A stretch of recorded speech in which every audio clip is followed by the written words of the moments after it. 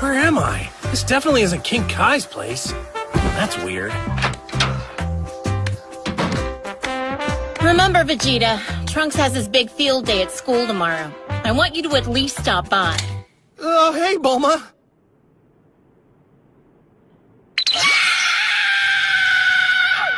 What's wrong?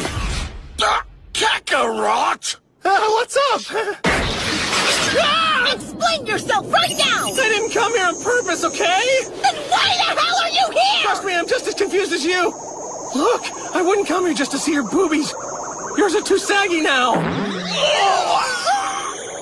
What's wrong with you?